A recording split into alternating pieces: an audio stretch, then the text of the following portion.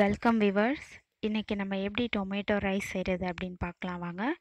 தேவையான பொருட்கள் ஐந்து தக்காளி நான்கு பச்சை மிளகாய் கருவேப்பிலை இரண்டு வெங்காயம் இஞ்சி பூண்டு விழுது கொத்தமல்லி.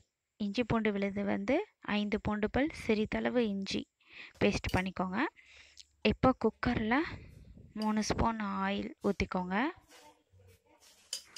ஆயில் காஞ்சதும் சிறிதளவு சோம்பு கடுகு உளுந்து போடுங்க. பொரிஞ்சிடுச்சு. இப்போ வெங்காயம் ஆட் பண்ணிக்கலாம்.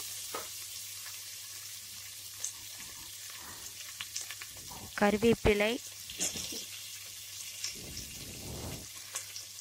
பச்சை மிளகாய் ஆட் பண்ணிக்கலாம்.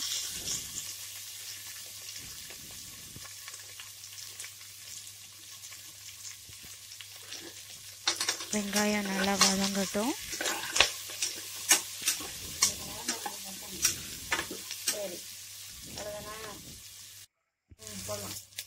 இப்போ இஞ்சி பூண்டு விழுது ஆட் பண்ணிக்கலாம்.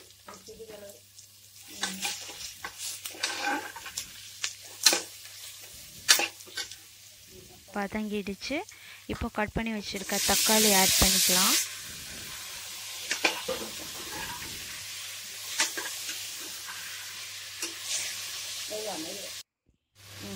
தேவையான அளவு உப்பு ஆட் பண்ணிக்கோங்க. வதங்கிடுச்சு. சிறிதளவு சிக்கன் மசாலா பவுடர் ஆட் பண்ணியிருக்கேன் நெய் ஆட் பண்ணிக்கோங்க அதுலேயே. கொத்தமல்லி தக்காளி எல்லாம் நல்லா வதங்கணும்.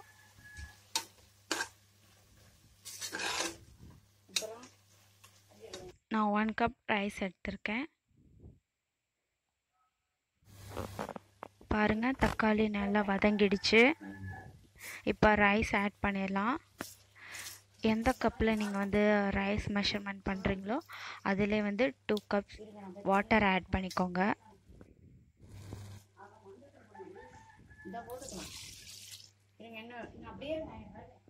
ஆட் பண்ணியாச்சு.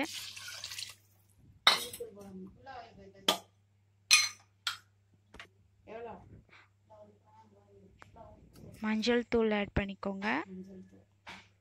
இப்போ உப்பு வந்து கரெக்டாக இருக்கா அப்படின்னு நீங்கள் செக் பண்ணிக்கலாம். தேவைப்பட்டால் உப்பு ஆட் பண்ணிக்கலாம். க்ளோஸ் பண்ணிடலாம் இப்போ விசில் போட்டு. நான் ஒரு ஃபோர் விசில் வைக்க போகிறேன் பாருங்கள் நல்லா வெந்திருக்கு. அடி பிடிக்கல. வேகாமல் இருந்ததுன்னா நீங்கள் சிறிதளவு வாட்டர் தெளிச்சுட்டு மறுபடியும் வச்சிங்கன்னா வெந்துடும். இதுக்கு நீங்கள் வந்து வெங்காய பச்சடி அல்லது உருளைக்கிழங்கு வறுவல் சேர்த்துக்கலாம். நல்லாயிருக்கும் இப்போது சுவையான டொமேட்டோ ரைஸ் ரெடி